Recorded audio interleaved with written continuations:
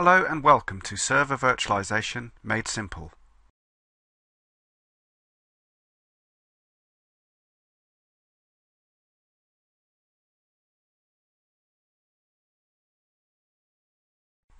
As an IT salesperson, there are just three things you need to know about server virtualization. What it is, why the fuss, and who is buying it.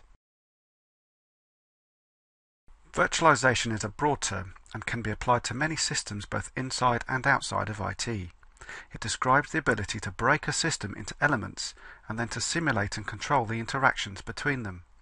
Elements can be moved or even changed and the system keeps working. If applied well, this can yield massive advantages for the system design in terms of flexibility. You may be familiar with the functionality of a RAID controller often found in servers or high-end workstation PCs. A RAID controller sits in between the operating system, like Microsoft Windows, and the physical hard drives. Although not often categorized as virtualization technology, the RAID controller is a great example of how virtualization works. The RAID controller allows a number of disks to be combined into a pack. However, Windows only gets a simulated view of them via the controller. It sees just one big disk. Behind the controller, disks can be added on the fly and disks can even fail and get replaced and Windows is none the wiser. Selling servers without considering RAID as an option could be doing your customers a disservice. Equally, if you are not discussing virtualization with your customers, you may be doing yourself a disservice. Virtualization can be applied to many systems within IT. These can be hardware or software or a combination. Common systems where virtualization can be applied are servers, desktop PCs, storage, applications, and networks.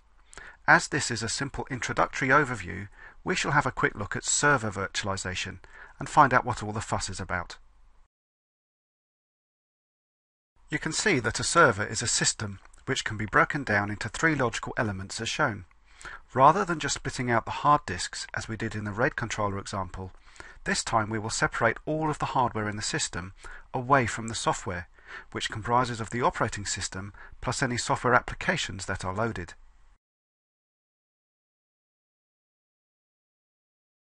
The green virtualization layer that we have introduced here is called a hypervisor.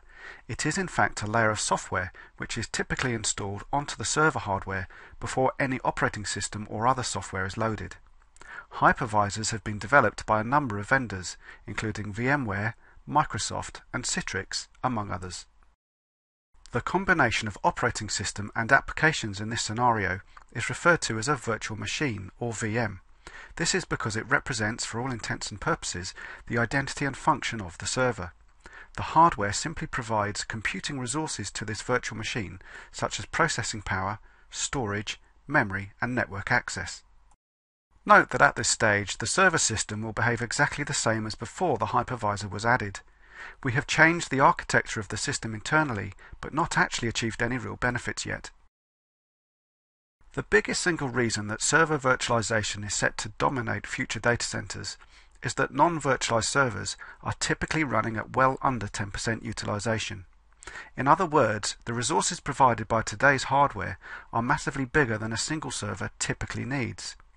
Given the economic pressures to save costs, not to mention the green agenda, this means traditional servers are wasteful and not a sustainable way forwards. With server virtualization, we can now replace physical machines with virtual machines. If you have customers with server systems which are nearing end of life, this may be a far better option than simply replacing them physically. The cost and energy savings are very obvious.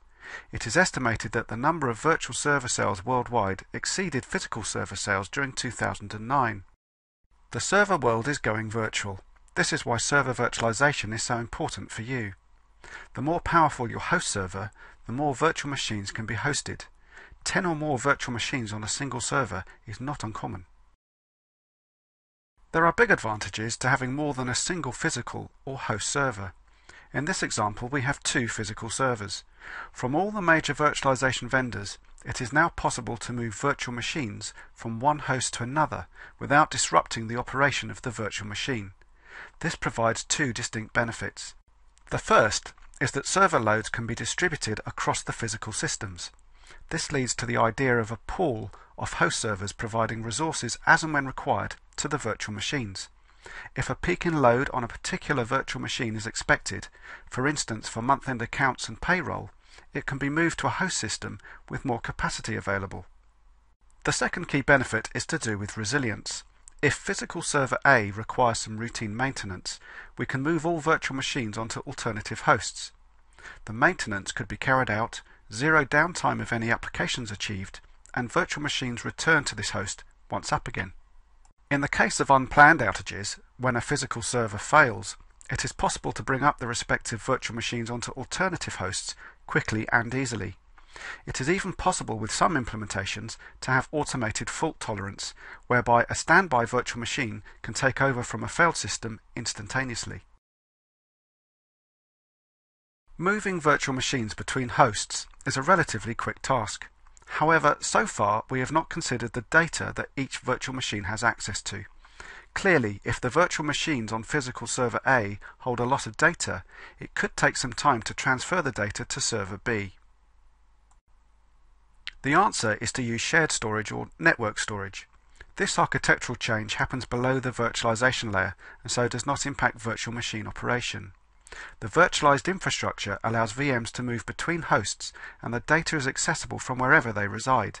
This then is the typical shape of a virtualized server infrastructure. The introduction of network storage is a double-edged sword. On the one hand, as an IT salesperson, this can be increased sales opportunity for you. The risk is that, certainly for smaller customers, the cost of entry into virtualization is increased and may even be prohibitive. The size of your customer's estate and the cost versus benefits of moving to a virtualized infrastructure have to be weighed up. Server virtualization is being considered by many organizations across all industry sectors. Systems have traditionally been deployed with at least one server per application. This has led to server sprawl, systems devouring money and electrical power. Virtualization holds the promise of radically reducing capital and operational costs, improving systems agility, and with the right management tools and processes can even help reduce operational risks. Typically, organizations need to be operating at least 5 to 10 traditional servers for the move to make any economic sense. Often, the move to virtualization is considered when legacy systems are nearing end of life. Also remember that in this primer, we have only given a brief introduction to server virtualization. There are many factors which will determine the best path for your customer and each solution will be different. As pointed out at the beginning, there are many other areas where virtualization technology can be applied. It is your challenge to make sure those conversations are being led by your organization.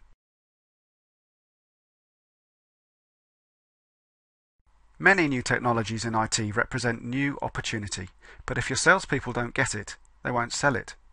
2Decipher translates the complexities of IT into what sellers need to know. To find out more, visit our website at www.2decipher.com.